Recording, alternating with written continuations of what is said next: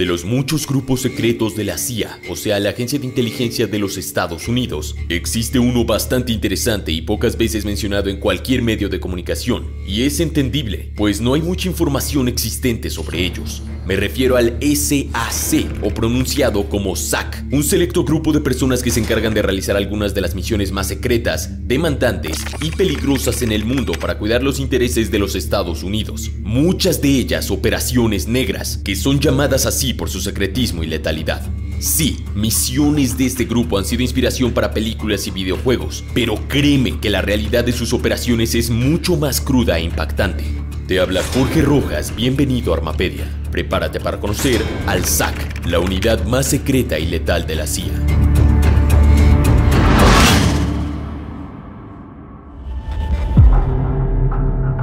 La Agencia Central de Inteligencia, conocida como la CIA, es una agencia enorme. En la actualidad cuentan con más de 21.500 empleados distribuidos en muchas tareas, que en su mayoría nada tienen que ver con combate o secretismo o cosas que consideraríamos muy locas. Pero el Centro de Actividades Especiales de la CIA, conocido hasta el año 2016 como SAD y ahora como SAC, está compuesta por solo unos pocos cientos de personas. Y esto por una muy buena razón su principal misión es completar las operaciones negables u operaciones negras. Debes saber que estos hombres están en una línea mucho más delgada que otras fuerzas especiales. Pues sí, el equipo 6 de los SEAL y la Fuerza Delta realiza operaciones super clasificadas. Usualmente son los que ejecutan las misiones, pero en ocasiones el SAC es quien las planea.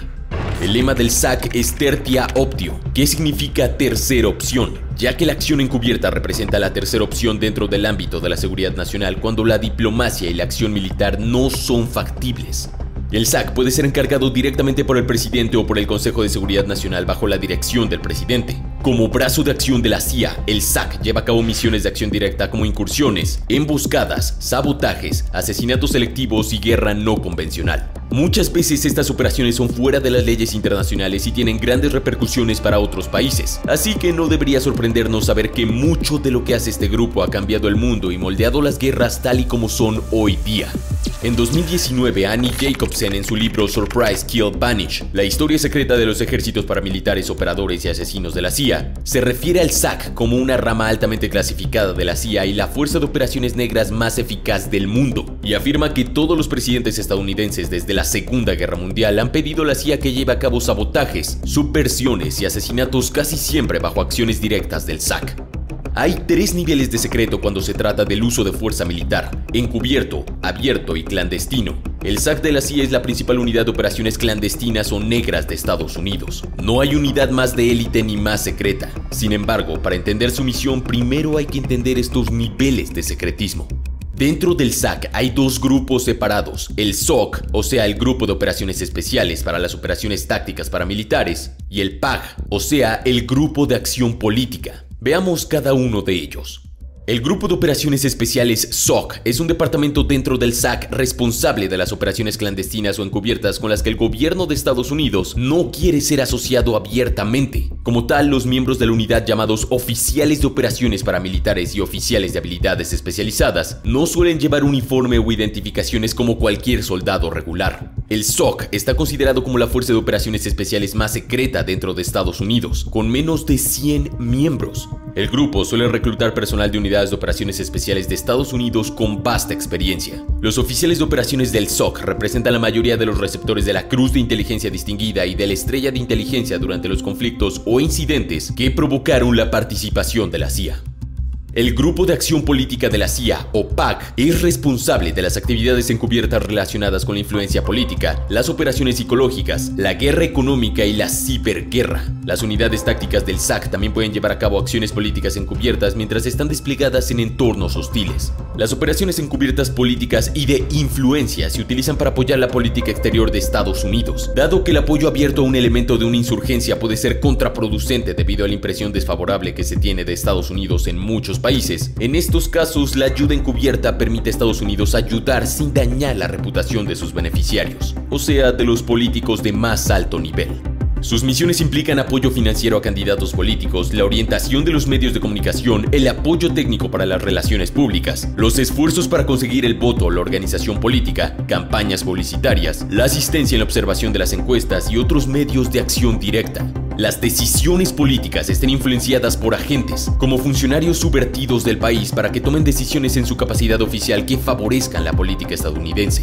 Algunos ejemplos de programas de acción política que ahora se sabe el PAC tuvo participación fueron impedir que el Partido Comunista Italiano ganara las elecciones entre 1948 y finales de la década de 1960, derrocar a los gobiernos de Irán en 1953 y Guatemala en 1954, armar a los rebeldes en Indonesia en 1957 y proporcionar fondos y apoyo a la Federación Sindical Solidaridad tras la imposición de la ley marcial en Polonia después de 1981.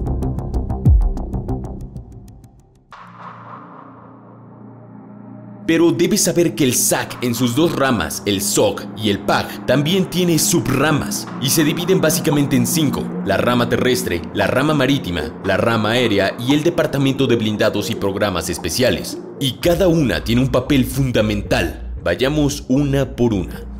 Rama terrestre. La división terrestre del SAC, también conocida simplemente como GB por Ground Branch, es responsable de todas las operaciones encubiertas realizadas en tierra. Se les considera expertos en vigilancia, armas pequeñas, CQB, rescate de rehenes y conducción avanzada. Hay varios antiguos miembros de la Fuerza Delta que han pasado a formar parte de la rama terrestre del SAC. Además, hoy en día a la CIA le gusta contratar a jóvenes E6 o E7 de la comunidad de operaciones especiales y ascenderlos a través de las filas de la propia agencia. Los oficiales de la rama terrestre llevan a cabo en gran medida la misma misión que las fuerzas especiales de Estados Unidos, la guerra no convencional. En otras palabras, trabajar por, con y a través de las fuerzas locales de un país para completar su misión. Durante la guerra mundial contra el terror, la rama terrestre del SAC actuó ampliamente en Afganistán e Irak. Rama marítima. Como el nombre sugiere, la rama marítima del SAC se centra en las operaciones anfibias y como tal tiende a reclutar ex miembros SEAL y a Marines de la Fuerza de Reconocimiento como sus operadores. La rama marítima del SAC es responsable de las misiones especializadas que tienen que ver con el agua. Esta rama es la élite de la élite, por lo que naturalmente es experta en embarcaciones, buques, submarinismo y otros sofisticados conocimientos marítimos. Rama aérea. La subdivisión aérea del SAC es responsable de las actividades de aviación. Solo los pilotos increíblemente hábiles y expertos en aviación pueden formar parte de ellos. Muchos son reclutados del Comando de Operaciones Especiales de la Fuerza Aérea, del 160 SOAR, o sea, los Night Stalkers, y de empresas de aviación civil. Estos tienen la misión de volar desde aviones ligeros hasta grandes aviones de transporte. Las funciones de la rama aérea incluyen inserción y extracción encubierta de personal de la CIA, transporte encubierto de carga sensible y vigilancia aérea y recopilación de información. Blindados y programas especiales.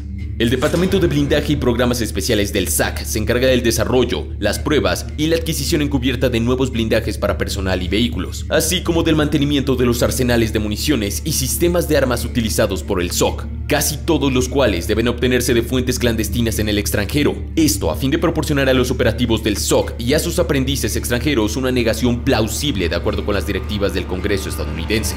Los miembros de esta rama nunca están en acción directa contra el enemigo, pero son esenciales para que los operadores en combate puedan hacer su trabajo.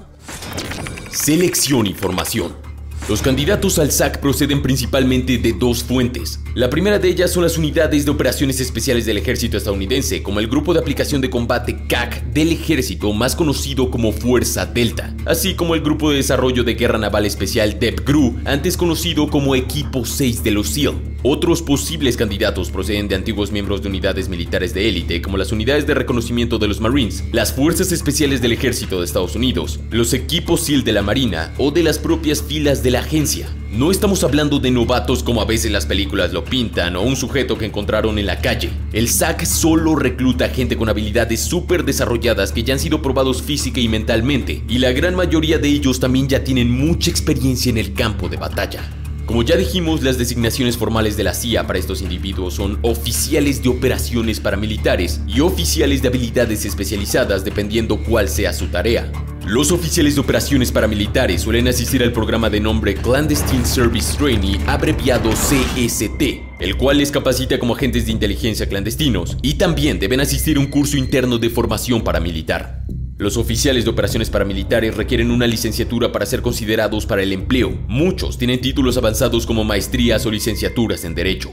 Los oficiales del SAC se entrenan en Camp Peary, Virginia, también conocido como The Farm o La Granja, y en centros de entrenamiento de propiedad privada de todo Estados Unidos, de los cuales no se sabe su ubicación. También varios miembros entrenan a su personal en The Point, Harvey Point, una instalación en las afueras de Hertford, Carolina del Norte. Además de los 18 meses de formación en el programa Clandestine Service Training, CST, los oficiales son entrenados a un alto nivel de competencia en el uso y empleo de armamento moderno, dispositivos explosivos y armas de fuego extranjeras y nacionales, combate cuerpo a cuerpo, conducción de alto rendimiento o táctica, evasión de la aprehensión, guerra cibernética, paracaidismo Heiho y Halo, scuba de combate, buceo en circuito cerrado, dominio de idiomas extranjeros, operaciones de entrada subrepticia, o sea, forzar o puentear cerraduras, supervivencia, evasión, resistencia y escape, SERE, entrenamiento de supervivencia extrema y en zonas silvestres, formación médica de combate, comunicaciones tácticas, rastreo, etcétera, etcétera, etcétera.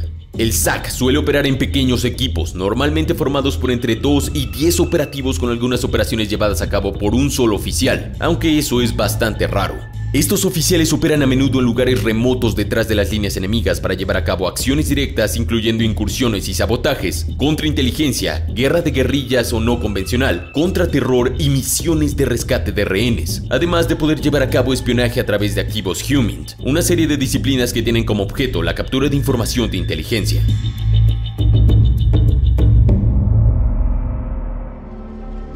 Ahora bien, hay dos tipos de oficiales de operaciones paramilitares, los Blue Badgers, o sea, tejones azules, y los Green Badgers, o sea, tejones verdes. Los Blue Badgers son aquellos que son empleados reales de la CIA, que han realizado el mismo proceso de contratación que el resto. Por su lado, los tejones verdes son en realidad contratistas de la CIA, o sea, empleados temporales. Muchos miembros retirados de los Delta y la Deep Group tienen esta distinción. No se sabe si aún siguen usando esta clasificación o si ya ha cambiado a otra. Misiones conocidas del SAC. Aunque todas las operaciones en las que participa el SAC son altamente encubiertas, hay algunas misiones donde el secretismo no logró su objetivo. Se filtró información y ahora sabemos que el SAC estuvo involucrado. Es importante recordar que no se conoce la identidad de los actuales oficiales de operaciones paramilitares del SAC. De hecho, el gobierno de los Estados Unidos puede negar todo conocimiento de su asociación al gobierno en caso de que su identidad se vea comprometida durante una misión. Los oficiales paramilitares del SOC ejecutaron la evacuación clandestina de ciudadanos estadounidenses y personal diplomático en Somalia e Irak durante la Guerra del Golfo Pérsico y de Liberia durante periodos de hostilidad. Los oficiales del SAC han operado de forma encubierta desde 1947 en lugares como Corea del Norte, Vietnam, Laos, Camboya, Líbano, Irán, Siria, Libia, Irak, El Salvador, Guatemala, Colombia, México, Nicaragua, Honduras, Chile, Bosnia y Herzegovina, Serbia, Somalia, Kosovo, Afganistán y Pakistán. Las unidades del SOC derrotaron un grupo extremista en el Kurdistán iraquí antes de la invasión de Irak en 2003 y entraron, equiparon, organizaron y dirigieron a las fuerzas Peshmerga kurdas para derrotar al ejército iraquí en el norte de Irak. Sin embargo, desde el atentado del 9-11 el gobierno de Estados Unidos ha recurrido mucho más al SOC, porque la lucha contra el terror no suele implicar la lucha contra otros ejércitos, más bien implica entrar y salir en secreto de países como Irán, Somalia, etc., donde el ejército estadounidense no está legalmente autorizado a operar. Los agentes del SAC fueron las primeras fuerzas estadounidenses que se desplegaron en Afganistán en septiembre de 2001. Múltiples equipos de la CIA, formados por una mezcla de oficiales de casos y oficiales paramilitares del SAC, se unieron a diversas fuerzas antitalibanes en todo Afganistán. Su misión consistía en representar al gobierno estadounidense, reunir información sobre grupos extremistas y los talibanes y preparar el camino para los ataques aéreos de los aviones de la coalición y la introducción de las fuerzas de operaciones especiales estadounidenses en el país. Los equipos de la CIA procedieron a establecer contacto con los comandantes de la Alianza del Norte, relaciones que fueron la clave para derrocar al régimen talibán en aquel momento. En 2003, agentes del SAC junto con fuerzas pakistaníes capturaron a Khalid Sheikh Mohammed, esto en Rawalpindi, Pakistán. Khalid Sheikh fue uno de los artífices del atentado del 9-11. El SAC estuvo involucrado en su interrogatorio y este fue fundamental para el eventual baja de Bin Laden. El 1 de mayo de 2011, el presidente Barack Obama anunció que Bin Laden había sido abatido en Abbottabad, Pakistán, por un pequeño equipo de estadounidenses que actuaban bajo sus órdenes directas durante una operación de la CIA. La incursión en helicóptero fue ejecutada desde una base de operaciones avanzadas de la CIA en Afganistán por los elementos del Grupo de Desarrollo de Guerra Naval Especial de Estados Unidos asignados a la CIA y operativos paramilitares de la CIA, así es, el SAC. Yéndonos a misiones más recientes tenemos la operación Kyla Mueller, El 26 de octubre de 2019, la Fuerza Delta llevó a cabo una incursión en la provincia siria de Idlib, en la frontera con Turquía, que se saldó con la baja de Abu Bakr al-Baghdadi. La incursión se puso en marcha sobre la base de un esfuerzo de recopilación de inteligencia y reconocimiento de objetivos cercanos del SAC que localizó al líder. Lanzados después de la medianoche hora local, los ocho helicópteros que transportaban a los equipos cruzaron cientos de kilómetros de espacio aéreo controlado por Irak, Turquía y Rusia. La incursión de dos horas culminó con la huida de Baghdadi de las fuerzas estadounidenses hacia un túnel sin salida y la detonación de un chaleco, terminando con su vida y la de sus tres hijos. En la administración Trump, el SAC comenzó a desplegar pequeñas unidades de oficiales paramilitares en todo el mundo para localizar hombres de terror. Miembros destacados. De los pocos miembros que tiene el SAC, son pocos los nombres que se han logrado obtener, pero estos son algunos de ellos. El 25 de octubre de 2003, los oficiales paramilitares Christopher Mueller y William Chief Carlson perdieron la vida mientras realizaban una operación para dar de baja a líderes de alto nivel de un grupo extremista cerca de Shkin, Afganistán. Ambos oficiales fueron honrados con estrellas en el muro conmemorativo de la CIA. Estos oficiales del SAC salvaron la vida de otras personas, incluidos soldados afganos, durante el enfrentamiento con fuerzas extremistas. Larry Super Jew Friedman. El 23 de diciembre de 1992, Larry Friedman fue la primera víctima del conflicto en Somalia. Friedman era un antiguo operador de la Fuerza Delta. Fue dado de baja mientras realizaba un reconocimiento especial antes de la entrada de las fuerzas militares estadounidenses en Somalia. Su misión era completamente voluntaria, ya que requería entrar en una zona muy hostil sin ningún tipo de apoyo. Sus acciones proporcionaron a las fuerzas estadounidenses información crucial para planificar su eventual desembarco anfibio. Tyson C. Nick. En diciembre de 2012, el sargento mayor Tyson Nick perdió la vida en acción al repeler un ataque enemigo en Jalalabad, Afganistán. Esto mientras intentaba salvar un soldado caído. Tyson tuvo 24 años de servicio en el primer batallón de Rangers, en el 75 Regimiento de Rangers y en la Fuerza Delta. En el momento de su baja estaba contratado por la CIA y asignado específicamente al SAC. Muro conmemorativo de la CIA. El muro conmemorativo de la CIA se encuentra en la sede en Langley, Virginia. En este se rinde homenaje a los empleados de la CIA que perdieron la vida en acto de servicio. Hay 137 estrellas talladas en la pared de mármol, cada una de las cuales representa a un oficial. Lo que muchos no saben es que la mayoría de ellos eran oficiales del SAC. Debajo de las estrellas se encuentra un libro negro llamado Libro de Honor, el cual está encerrado en una placa de cristal blindado. En el interior de este libro hay estrellas ordenadas por año de fallecimiento y los nombres de 91 empleados que perdieron la vida en servicio de la CIA junto a ellas. Los demás nombres permanecen en secreto. A pesar de que el SAC es la unidad más encubierta de las operaciones especiales de Estados Unidos, se han publicado numerosos libros sobre las hazañas de los oficiales del SAC, como por ejemplo Fit to the Fire, CIA Covert Operations in Indonesia y Shooting at the Moon, The Story of America's Clandestine War in Laos, Además, algunas películas que tomaron inspiración en miembros del SAC antiguamente conocido como SAD son los siguientes. Jason Bourne, La Noche Más Oscura, La Casa del Octubre Rojo, El Buen Pastor y Juego de Espías.